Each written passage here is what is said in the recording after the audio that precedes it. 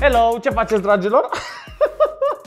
Astăzi o să ne jucăm cu o grămadă de uh, chestii, dar vă promit că va fi foarte ușor. Aveam buturuga asta de viță de vie pe la noi prin atelier și m-am gândit ce să facem cu ea. Și pentru că am găsit suportul ăsta minunat la prietenii mei de la Hemskerk Flowers, așa, am zis că am putea să facem un display frumos de aranjament. Dacă punem buturuga asta aici, ia uite, super, gata! Videoclipul de astăzi s-a terminat. Aceasta a fost totul.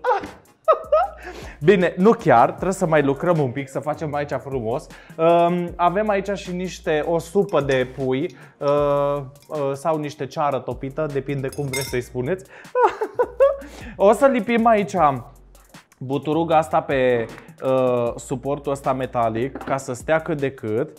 Mă rog, nu o să ne chinuim prea tare, ea o să stea mai mult pe masă. Așa, bineînțeles că o să curgă puțin. Pentru că uh, am primit uh, capsulele astea, nici nu știu ce sunt și la ce se folosesc, să fiu sincer. Uh, tot de la Hemsger le-am și pe astea. Uh, eu sunt nebunit cu secțiunea deco, mai ales că cumva cred că îmi place tot ce înseamnă chestia asta de lucru manual, de a meșteri, de a face, de așa și uh, tot văd tot felul de lucruri, astea sunt niște chestii care vin așa puse pe un băț, doar că eu le iau și mă gândesc cum pot să fac alte lucruri în ele. Așadar, m-am gândit să fac din capsulele astea un suport de flori, ia uite-te. Pun aici în ea niște ceară din asta topită, o rulez înăuntru ca să o sigilez Așa, încet, încet rotesc ca să ajungă peste tot. Și iată cum am niște capsule pentru flori. Am deja unele aici gata făcute și răcite ca să le putem folosi. Dar și asta ar fi ajuns efectiv la fel. Bun, bine că nu mi-am dat uh, ceară din asta topită pe degete. Cred că ar trebui să iau vasul ăsta cu ceară de aici, nu de alta, dar să nu ne uh, accidentăm. Și acum o să luăm capsulele noastre nu o să facem nimic altceva decât să punem niște silicon pe fundul lor și o să le lipim de buturuga de viță. Simplu. Pare complicat, dar nu este. Bun. Partea bună la genul ăsta de suport este că și dacă nu puneți flori în ele, ele arată frumos. Asta e interesant. Așa. Și cred că mai putea să punem unul aici. O să punem și o eprubetă în partea asta pentru că vreau să pun o dalie frumoasă. Și o să mai punem câteva eprubete și aici printre. Activitatea mea preferată, legatul de eprubete. Glumesc, v-am zis că nu stau prea bine la capitolul răbdare. Mai punem o eprubetă în partea aceasta și gata. Acestea fiind spuse, nu avem decât să umplem eprubetele cu apă și și capsulele în care voi pune flori, bineînțeles. Și suportul meu este gata acum. Nu avem decât să începem să punem aceste flori superbisime. Ia uite ce dali cafeole am primit. Doamne, superbisim.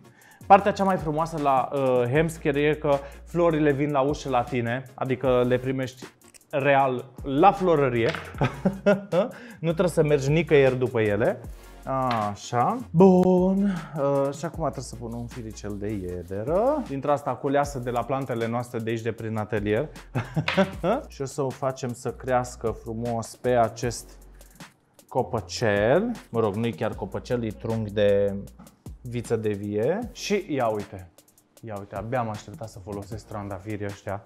Ia uite ce frumuseți. Doamne, superbi! O să punem și niște anturiu. Știți că mie îmi plac lucrurile simple, ați văzut cât de simplu a fost, dar ia uite ce aranjament superbisim am făcut cu doar câteva floricele, fără prea mult stres. Dar v-am mai zis eu, nu, acum n-ai ce să faci, trebuie și un pic de talent, că nu ți iese totul chiar așa pe ieftin și ușor și așa, fără să te pricepi un pic. da, și, dar înainte de toate trebuie niște flori superbisime de la Hemsker. Că altfel, fără ele, n-am putea să facem nimic. Și ingredientul surpriză, știți că mie îmi place să tai de prin atelier.